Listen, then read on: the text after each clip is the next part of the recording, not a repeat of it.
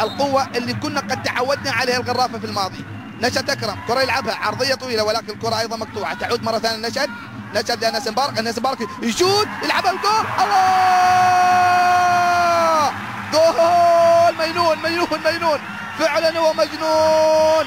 مجنون مجنون. أنس مبارك.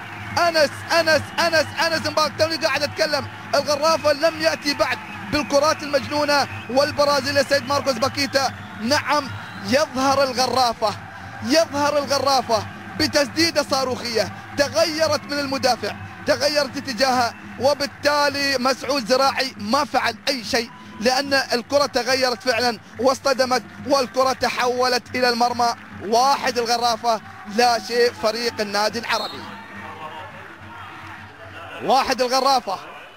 لا شيء العربي من كرة تسديدة نارية قوية صاروخية سميها كما يحلو لك أن تسميها. هي كراته أنس مبارك هي لعباته هي هي طبيعي أن أحد أفضل المواهب في الدوري الفرنسي. عموما كرة تلعب الآن عرضية في مكان خطيرة جول جول!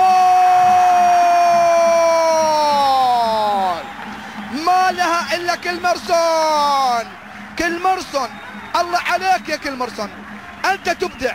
واليوم تبدع وكنت قد أبدعت وكنت في الماضي أفضل المهاجمين على الإطلاق عندما سجلت 27 هدف في دوري المحترفين القطري. ها هو كلمرسون اليوم يعود للتألق من جديد بكرة عرضية من اللاعب هاكن يكين وبعد ذلك ريك المرسون أوه لدغها اللاعب البرازيلي طريقة ريفالدو طريقة رونالدينيو طريقة رونالدو الشهير وبالتالي فعلا هي الطريقة البرازيلية وهي اللمسة الساحرة للكرة البرازيلية تأتي عن طريق كلمرسون وبالتالي كلمرسون الله عليك الله عليك في هذه المباراة تبدع وفي كل مباراة تبدع وفي أي مسابقة تبدع وفي أي موسم تبدع وبالتالي هكذا هو حقيقة كلمرسون اللاعب